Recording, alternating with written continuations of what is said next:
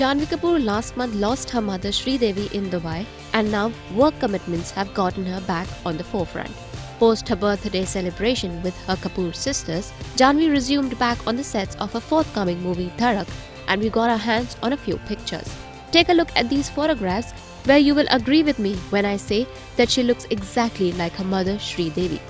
Well, isn't Janhvi a spitting image of late mother Sridevi?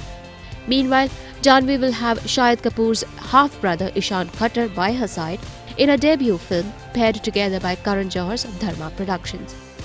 The film is set for an initial release in July next year.